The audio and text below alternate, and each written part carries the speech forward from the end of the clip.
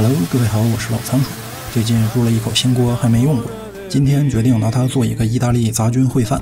我们话不多说，直接开始制作。首先是蘑菇的选择，我使用了干香菇和干牛肝菌，干菌风味很强，所以一点就够了。新鲜蘑菇部分使用了海鲜菇和白蘑菇，你也可以换成自己喜爱的菌类。我们先把干菌泡发，注意泡发的水千万不要倒掉，然后将白洋葱切碎。像我这样，先顺着纹理切几刀，然后横过来切碎就好，不需要切细，随便切碎就行。然后将白蘑菇随意的切碎，我们只留海鲜菇不切，其余蘑菇都切碎。切碎后有助于将它炒干，强化风味。等香菇和牛肝菌泡发好后，我们也给它切碎。至此，我们的食材就处理完毕了。然后就是 risotto 调料，这个一般含有藏红花，注意别放多了，颜色会重到辣眼睛。我们用一杯水给它冲开，所有准备工作就完成了。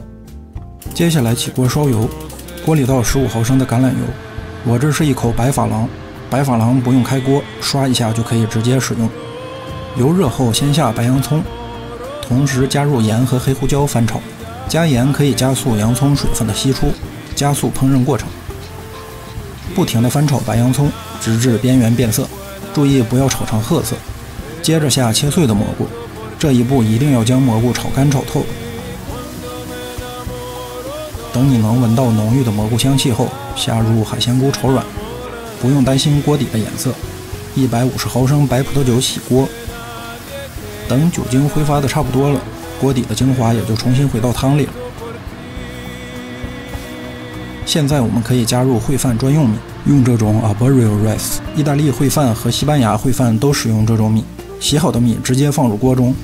这种米的特点是吸水性很强，所以容易熟，适合烩饭。我们加入泡发香菇的水，再加入 risotto 调料水，再次加入黑胡椒和盐调味儿，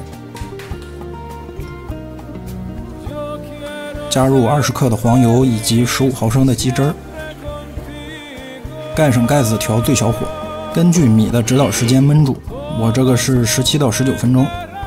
好，时间到，期间要注意观察两次水量是否充足，避免糊锅。将汤汁收到你喜欢的程度，我们的意大利杂菌烩饭就做好了。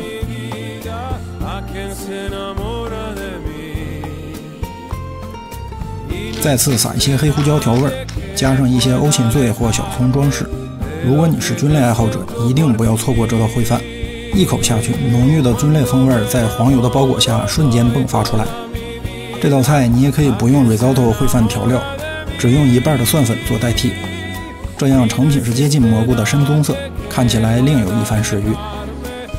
我是黄金大仓鼠，我们下期视频见。